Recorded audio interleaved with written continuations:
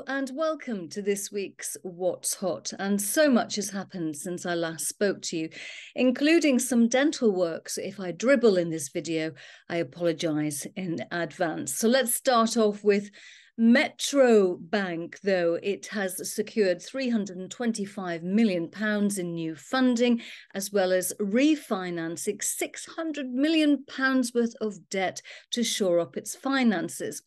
Now, its strategy of focusing on high street branches has been described as expensive, and it's not helpful when that comes from the mouth of the co founder, the former chairman. Anthony Thomson said if it continues with its bricks and mortar branches approach, it has a limited future well, a little bit of background on Mr. Thomson. He left Metro to start up Atom Bank, which was the first app based bank. And he also hired rapper and producer Will I Am to act as a technology consultant. However, its website isn't that dissimilar from Nat West. So that fusion of the new and the established. Now let's stick with established and one of my favorite stocks, which is Bloomsbury Publishing. And another of its authors has been awarded the Nobel Prize for literature.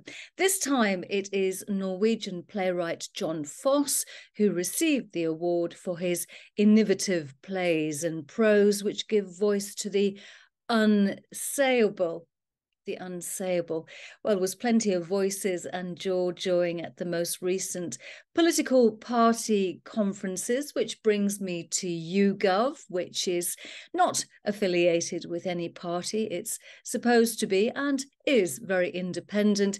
It is a research and data analytics group and shares this past week saw a double digit increase after strong results. Revenue of £258 million, profit of £56 million, and it's negotiated a credit line of some £280 million. So hopefully, some of that money will be divested or invested in its own tech because its website is so painfully painfully slow and it's hard to extract the intelligence that YouGov is known for.